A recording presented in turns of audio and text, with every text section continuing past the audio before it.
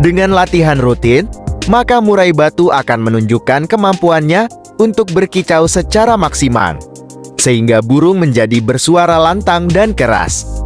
1. Keluarkan ledir dari tenggorokan burung.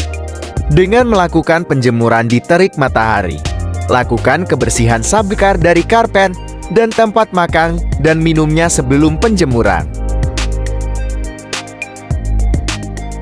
2.